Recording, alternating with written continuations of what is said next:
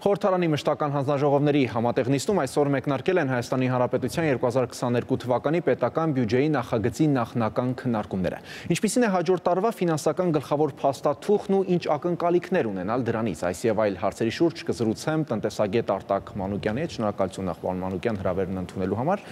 Պարոն Մանուկյան, սովորաբար ամեն տարի բյուջեի նախագծի քննարկումների ժամանակ մեկ բառով գնահատականներ են տրվում, թե ինչպիսին է այդ նախագիծը։ Օրինակ, ես հիշում եմ, որ 2020 թվականին Բյուջեն որակվեց հեղափոխական, ընդդիմադիրներն էլ հակադարձեցին այն գնահատելով պահպանողական եւ իներցիոն։ 2022 թվականի բյուջեն որպես տնտեսագետ ինչպես կորակեք։ Շնորհակալություն հարցադրումն եւ հրավերի համար։ Եթե մենք քննարկում ենք բյուջեն, բյուջեի կարևորագույն երկու տեսանկյունից քննարկենք, հա մասնագիտական, այսինքն ծախսեր եւ որ ծախսն է ավելի շատ գերակայություն, հա այս առումով կարծես թե բոլոր տարիների բյուջեները գերակայություն ընտրվեց սոցիալականը, կենսաթոշակառուների թվականակով պայմանավորված սոցիալական խզվածության պայմանավորված եւ այլն։ Այսինքն այս տեսանկյունից կարծես թե բոլոր բյուջեները միանման են, բայց այնուհանդերձ 2022 թվականի բյուջեն իր որոշակիորեն իր մեջ հավակնոտ ծրագրեր է պարունակում, մասնավորապես փորձ եմ ներկայացնում, Տեսեք, ընդդիմությունը քննադատում է ասում է կապիտալ ծախսերի թերակատարում կա, բայց այս բյուջեով մոտապես 50%-ով ավելի շատ կապիտալ ծախսեր է, այսինքն հավակնոտ բավականաչափ հավակնոտ նախագծեր գաղափարներ ներկայացած եւ երկրորդը սա նաեւ որոշակիորեն ապագա ապագայի ապագա կարողությունների բարելավմանը միտված ծրագիր, ինչի որտեղ նայեք գիտության վրա մոտավորապես 83%-ով ավելի շատ գումար է։ Իսկ սրանք այն ուղություններն են կապիտալ ծախսերը եւ գիտությունը, որոնց սրանցից հատույցը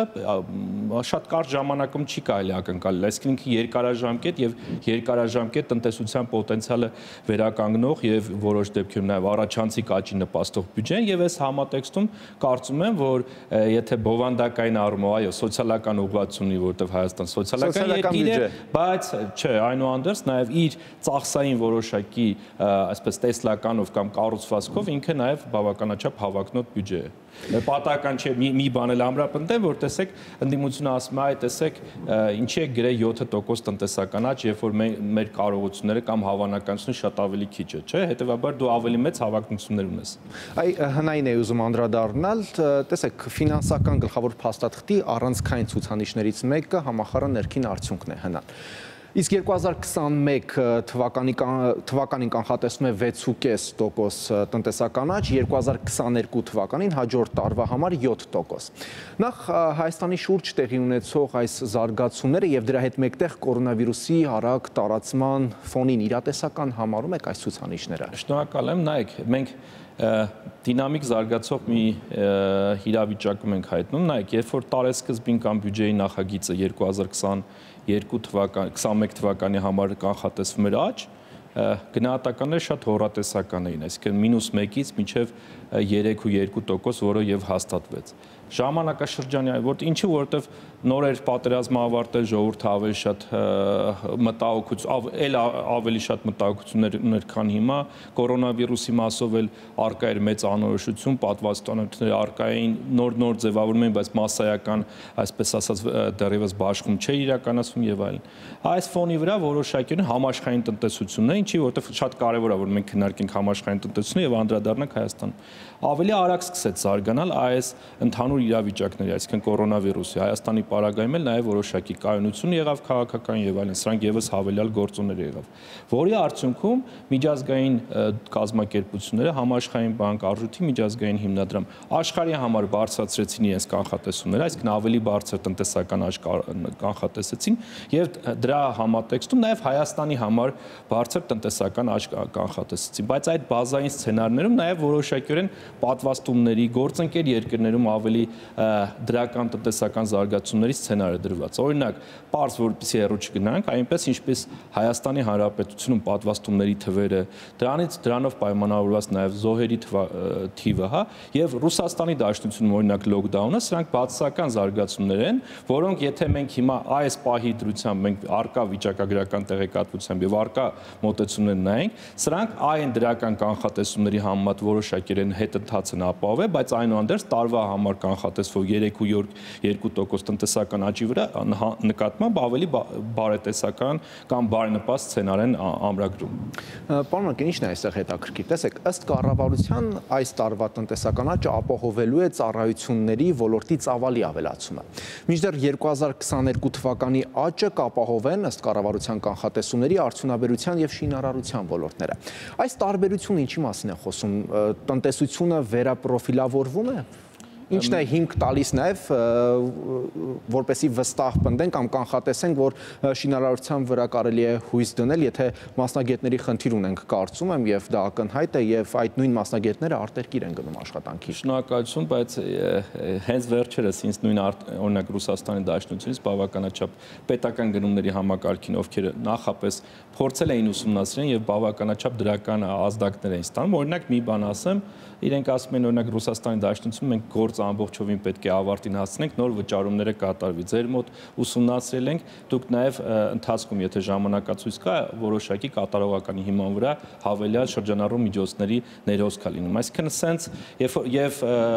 այս առումով այ երբ որ դուք նշում եք, ասում եք հիմա ծառայությունների ոլորտն ներկա պահին, դա հասկանալի է, որտեղ մենք բազային այնուհանդերձ համատվում ենք նաև 2020 թվականի հետ, որտեղ որ լոկդաունի եւ որոշակյորեն որոշակիորեն համավարակի ավելի առաջնային փուլի ժամանակաշրջանում առնվազն գոնե որոշակի ժամանակատված ըստ էության հարային սնունդը, ռեստորանային իսկ 2022-ին արդյունաբերություն եւ շինարարություն։ Այո, այդտեղ նաև պայմանավորված է նրանով, մասնապես շինարարությունը արդեն իսկ մանկապարտեզների ծրագիր կա ենթակառուցվածքների շինարարության ծրագիր կա, այսինքն եւ պատահական չէր, որ մենք հաղորդման առաջին մասում խոսեցինք, որ 50%-ով կապիտալ ծախսերի ավելացում է նախատեսում։ Սա իր հետ ակնհայտ է, որ դրա մի մասը նաեւ շինարարության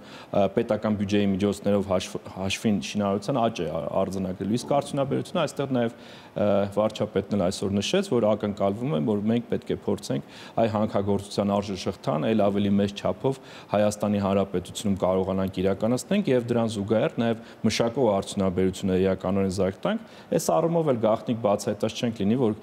մշտապես խոսվել է Հայաստանում ցածր արտադրողականության ցածր արտադրողականության եւ դրա բարձրացման պոտենցիալի մասով։ Սրանք ամենահեշտը իրականացվող ուղղությունները կարծում եմ հենց արդյունաբերությունն է։ Երբ միասին դրսում քայլենք, պարոն Մանուկյան, օրինակ որևէ քաղաքացու մոտենանք եւ ասենք, գիտեք 2022 թվականի բյուջեով 7% համախառն ներքին արդյունք է կանխատեսվում, առաջին հարցը որ կլինի դա ինձ ինչ է տալու։ Այսինքն քաղաքացին այդ 7% տնտեսական աճը իր մաշկի վրա զգալու է եւ ըստ էության ավելի ներառական համարում եք այս բյուջեի այս նեղիսը եւ հասարակության լայն շերտերի վրա ազդեցություն կունենա։ Շնորհակալություն։ Շատ ճիշտ դիտարկում եք անում, որովհետեւ հիմա տեսեք մենք խոսում ենք քանակական ցուցանիշների մասին, բայց քաղաքացուն իհարկե ավելի շատ հետաքրիր է նաեւ որակական ցուցանիշները, բայց մի պահ չմոռանանք, որ այդ քանակական ցուցանիշները կուտակվում են եւ իրենք հնարավորություն են ընձեռում, որպեսզի դու ավելի մեծ բարձիկներ ունենաս եւ կարողանաս որակական փոփոխություններ իրականացնեց, որպեսզի հերո չգնանք, տեսեք մենք 17 թվականին աճ ունեցանք, 18 թվականին 5.2% աճ ունեցանք, 19 թվականին ունեցանք Եվրոպայի ամենաբարձր աճը, որի արդյունքում հնարավորություն ընձեռվեց, որպեսզի մենք կարողանանք որակական փոփոխություններ իրականացնենք, օրինակ ուսուցիչների աշխատավարձ բարձրացնենք, այս բնակավարի պաշտպանական բնակավարի աշխատավարձ բարձրացնենք, այսինքն այս սրանք արդեն իրենցից որոշակի կൂട്ടակում են բարձիկներ, որպեսզի դու կարողանաս անել։ Հիմա 2022 թվականը ի թիվ թիվս այլոց, եթե մենք այն եկամուտների մակարդակը, որը որ պլանավորում է 7%-ի պարագայում, հայ, կարողանանք հավաքագրել, ապա դա հնարավորություն է ընձեռում, որ դու կուտակես այդ բարձիկը եւ ավելի մեծ ներառականություն իրականացնես եւ տեսեք հիմա արդեն իսկ քննարկվում է ուսուցիչների ատեստավորման եւ դրա միջոցով ավելի հավելյալ եկամուտներ գեներացնելու հնարավորություն։ Հնարավորություն են ձեռում, որպեսզի դու սոցիալական բնակարանաշինություն անես, անապահովներին ավելի մեծ թիրախային աջակցություն տաս։ Իսկն սրանք հնարավորություններ ավելի կյանքում միսու արուն է ստանում, եթե որ դու գոնե առնվազն 1-2 տարի այդ շարունակական այդ վեկտորը ապահովում ես եւ կൂട്ടակած պոտենցիալը ըստ էության բաշխում ես 1 տարվա վրա։ Հնայի թեման ամփոփենք հարցով, թե տեսեք մենք ձգտում ենք երկնիշ տնտեսական աճի։ Այս պայմաններում եւ այսպիսի իրավիճակում կան կանխատեսումներ, թե երբ եւ ինչպես կարող ենք հասնել այդ երկնիշ տնտեսական աճին։ Դե գիտեք ինչ, երկնիշ տնտեսական աճը հասնելու համար կարելի է միշտ խոսել, որ այո, այդ պոտենցիալը կա, այո, այդ պոտենցիալը կա, որտեղ մենք ունենք մասին խոսում մենք ունենք մարդկային բավականաչափ մեծ կապիտալ, տաղանդներ, որոնք որ որոշ դեպքերում չեն կարողանում պահենք մեր երկրում եւ եթե մենք կարողանայինք այս բոլոր բնակավարներում մեր էֆեկտիվությունը բարձրացնենք, հնարավոր է որ ստեղծենք պոտենցիալը, բայց այնուհանդերձ չմոռանանք, որ մենք ունենք եկամուտների մի մակարդակ, ծախսերի ահռելի մեծ բազմություն եւ ամեն տարի մենք փորձում ենք ինչ-որ որոշակի խնդիրներ այս ծախսերով լուծել։ Այ եթե հիմա մենք խոսենք, ասենք, այ օրինակ այդ պոտենցիալը կա, այո, այդ պոտենցիալը կա, բայց այնուհանդերձ, եթե մենք միջինում նայենք, մենք մեր տնտեսական աճի պոտենցիալը սովորաբար տատանվում է 4.5-ից 5%-ի շրջանակներում։ Հիմա նաեւ դրան է միտված, որ մենք պետքա ապագայամետ ծրագրեր անենք, այսինքն երկարաժամկետ, այո, երկարաժամկետ հատուց ենթադրող եւ ավելի մեծ արդյունք ստեղծող, հա, կրթությունը, ենթակառուցվածքները, որովհետեւ այդ նույն գյուղացին շատ ավելի արագ եւ էֆեկտիվ իր ապրանքը մատուցի շուկա եւ կարողանա ճանապարհի վրա ավելի քիչ ժամանակ ծախսել եւ դրանով նաեւ մեծացնի իր էֆեկտիվությունը։ Այսինքն սրանք ուղղություններ են, որոնք որ մեծացնում են, ընդլայնում են մեր պոտենցիալը եւ այս պահի դրությամբ միայն այդ պոտենցիալը փոխելու բարագայում է, որ իհարկե հավանականություն կա, որ կարելի կարող է մի բարենպաստ միջավայր ստեղծվել, ինչպես օրինակ պղնձի գները եւ սա շարունակական լինի եւ սա մեծացնի մեր հնարավորությունը, բայց նաեւ այս կառուցվածքային փոփոխությունները պետք է իրականացնեն, որպեսզի կատալիզատոր դեր հանդիսանան եւ մենք խոսենք ոչ միայն դրա հավանականության, այլ պրակտիկ կյանքի կոչման մասին։ Ինչ են ասում կառավարության անդիմախոսները ասում են աշխատավարձ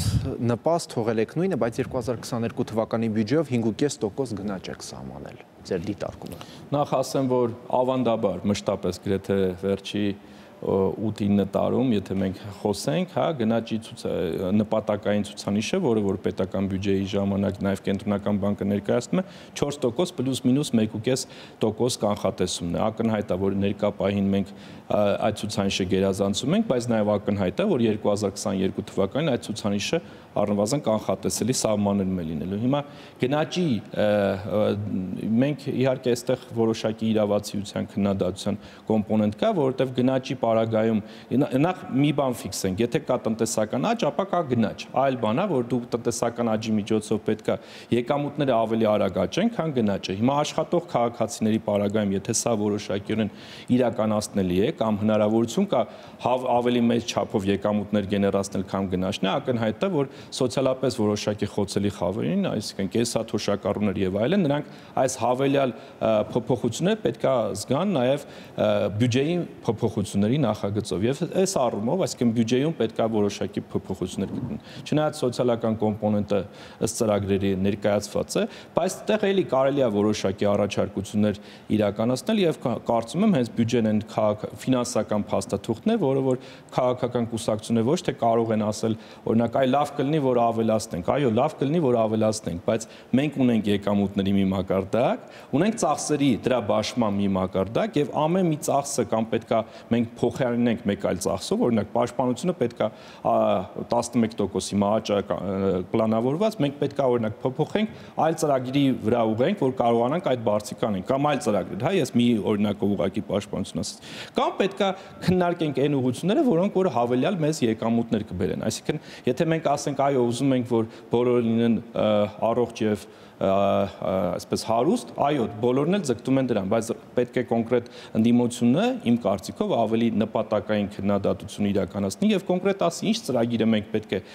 չիրականացնենք, որpիսի այդ տնտեսված միջոցները ուղենք հավելյալ այս եկամուտների բաշխմանը։ Բայց իդեպ այս առումով էլ պետք է փաստեմ, որ կառավարությունը գիտակցում է այս մոտեցումները եւ եթե կառավարության ծրագիրը նայեք, այդտեղ խոսվում է, որ առաջացիկ եկամուտների աճի մասին հատկապես սոցիալապես անապահովների, այսինքն եկամուտները այս մասով, երբ որ գեներացվեն տնտեսությունից, սրանք պետք է ուղղվեն հենց այդ գնաճից ավելի առաջանցիկ տեմպերով սոցիալական խոցելի խավի խնդիրների լուծմանը, ինչը ենթադրում է այլ հավասար պայմաններում նաև նպաստների բարձրացում։ Քանի որ գնաճից խոս գնաց, քաղաքացիների շատերից եմ լսել հետեւյալ դիտարկումները, քանի որ գնաճի պատճառներից մեկը նաև դոլարի, մեր երկրում դոլարի փոխարժեքի տատանումն է, ասում են հիմա էլ հո դոլարը նվազել է եւ կարծես թե կարգավորվել է, այդ դեպքում ինչու է գնաճը պահպանվում։ Շնորհակալություն, շատ ճիշտ հարցադրում եմ, պետք պետքա փորձենք երկխոսենք քաղաքացիների հետ եւ բարձաբանենք դրա պատճառները։ Նայեք, տեսեք, երբ որ մենք հիմա քննարկում ենք ընդհանրապես գնաճային միտումները, սովորական շարքային քաղաքացու մոտապես սպառման կառուցվածքի 40%-ը դրանք սննդամթերք եւ ոչ ալկոհոլային խմիչքներն են։ Սրանք ավելի զգայուն են, այսինքն ստեղի այս այս ապրանքախմբի փոփոխությունները քաղաքացին ավելի մեծ չափով է վրա զգում, քան օրինակ պատկերավոր վերանորոգման ծառայությունների փոփոխությունը, հա, կամ հիպոթեկի շուկայի զարգացումը։ Հիմա այս համատեքստում մենք չմոռանանք, որ այն հիմնական ապրանքատեսականների ուղությունները, որը որ այս խումբը ձևավորում է, այնուհանդերձ ներմուծվում է։ Հետևաբար մենք, եթե աշխարհ միջազգ համաշխարհային շուկայում տեղի են ունենում գնաճային միտումներ, մասնապես հիմա տեղի ունեն, հա, եթե դուք վերցնեք օրինակ FAO-ի ինդեքսը, հա, սննդամթերքը մոտավորապես 30%-ով աճել է նախորդ տարվա համեմատ։ Հա, այսինքն գների բարձրացում է տեղ ունենում, ինչի պահանջարկը շատ է, գումարները քաղաքացիներ ունեն եւ ըստ էության մատակարարման արժեշղթաների մասով էլ էական գնային ճնշումներ կա։ Հիմա սա այլ հավասար պայմաններում մենք գնաճը նաեւ ներմուծում ենք։ Հիմա այս առումով նաեւ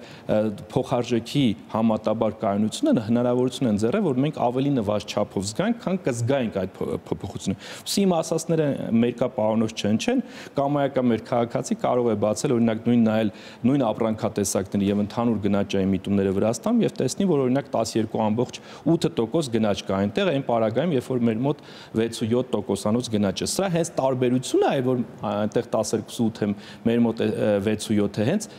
պայմանավորված է համատաբար փոխարժեքային ավելի բարենպ կամ փոխարժեքի ավելի նվազ կուրսով։ Վերադառնալով բյուջեի նախագծին, խոսենք այնտեղ արտաքին պարտքի եւ ներքին պարտքի մասին, Որքան հասցրի ուսումնասիրել, հասկացա, որ նշված է արտաքին պարտքը սկսելու ենք, այսինքն մարելու ենք եւ որոշակի մարումներ ենք իրականացնելու եւ արտաքին պարտքը չենք ավելացնելու, բայց փոխարենը վերցնելու ենք ներքին պարտք։ Այստեղ հարց է առաջում, պարտքը պարտք չէ՞ շատ ճիշտ էլի հարցադրումը փորձենք էլի բարձաբանենք նայեք երբ որ մենք ներքին պարտք ենք վերցնում, սա առավելապես ենթադրում է, որ մենք նաև դրամային շուկայից ենք վերցնում, հա, եւ առավելապես ենթադրում է, որ մեր ինստիտուցիոնալ ներդրողներից ենք վերցնում, այսինքն այդ պարտքի դիմաց վճարվելիք տոկոսավճարները այնուհանդերձ գեներացվում են քո տնտեսությունում եւ որոշակյորեն այս առումով ինքը որակական նաև փոփոխություն է, երբ որ առաջինը քաղաքացիները կամ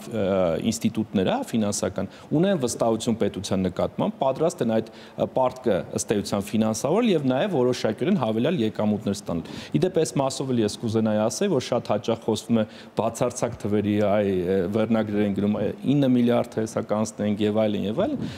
պետքա տարանջատել պարտքի բացարձակ թիվը եւ պարտքի հարաբերական թիվը, բայց նույնիսկ հիմա աշխարհը մի փոքրել է առաջ գնացել։ Ինչի որտեվ կան երկրներ, որ որտեղ ընդհուպ միջև այ պարտքի սպասարկման տոկոսավճարները մոտավորապես 0-ի մոտ թվեր են, երբեմն նույնիսկ բացասական, հա։ Եվ դրա համար չափազանց կարևոր է օրինակ ինչպես իմ, ինչպես ձեր, ինչպես մեր քաղաքացնի, ոչ թե ինչքան ես դու պարտք, այլ ինչքան պետքա վճարես, որովհետև պայմանական ասած, եթե հիմա մեկը քաղաքացիներին գամ եւ 1%-ով վարկ առաջարկի, նրանք պետքա խելամիտ որոշում կլինի այդ պարտքը վերցնել, ինչի որովհետև գնաճը շատ ավելի մեծ է, քան այն սպասար այդ պարտքը սպասարկելու բեռը։ Եվ հետեւաբար այս համատեքստում երկրները ավելի շատ խոսում են թե ինչքան այն ինչքան տոկոսավճար ես դու ամեն տարվա բյուջեով քո պլանավորված ըստ էության վճարելու։ Եվ այս առումով էլ եւս եթե դուք ուսումնասիրեք, կարծես թե պարտքի աշճանաբար կայունացման տեմպեր կան եւ որն ամենակարևորը նաեւ որակական ինդիկատոր, սա առավելապես լինելու է ներքին աղբյուրների հաշվին, այսինքն դրամով եւ հետեւաբար ավելի քիչ զգայուն արտարժութային փոփոխություններին։ Պարոն Մանուկյան, այս տարվա առաջին կիսամյակում պետական բյուջե մուտք գործող գումարները նախատեսվածից ավել են, բայց ծախսերի թերակատարում է արձանագրվում։ Այսինքն գումար կա պարզապես չենք հասցնում ծախսել, այս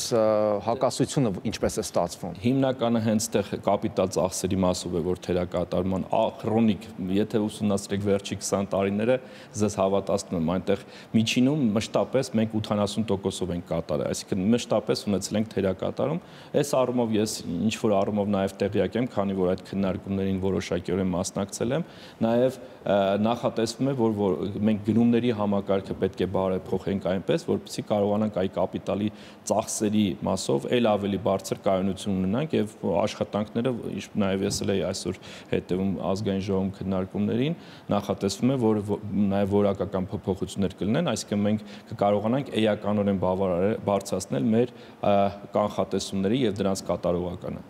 Եվ վերջում հակիրճ ամփոփենք, պարոն Մանուկյան, համաշխարհային բանկի հերթական զեկույցի համաձայն Հայաստանի տնտեսության զարգացումները սպասվածից ավելի դրական են։ Արդյոք գնաճային ճնշումները համաշխարհային շուկայում գազի գնի թանկացումը չեն ազդում այդ դրական տեղաշարժի վրա, ի դեպ հաշվի առնենք, որ Ռուսաստանում խիստ սահմանափակումներ են։ Շնորհակալություն դիտարկումների համար։ Եվ այդ սահմանափակումները նոր են սկսում գործել։ Հենց միայն դրա պատճառով, եթե այդ կանխատեսումները իրականացվեն այս պահի դրությամբ, այս պահի հայտնի տվյալներով, կարծում եմ համաշխարհային բանկը մեծ ռիսկեր կմատնանշեր, մասնավորապես իհարկե աշխարհի մակարդակով մատնանշում էր պատվաստումների համապատասխան դանդաղ ընթացքը, հաշվի առնելով, որ Հայաստան անգամներով ետ է մնում աշխարհի միջինից, կարծում եմ, եւ սրանից բխող հետևանքներով նաեւ տնտեսության համար այդ ժամանակաշրջանում հնչած համաշխարհային բանկի կանխատեսումը ներկա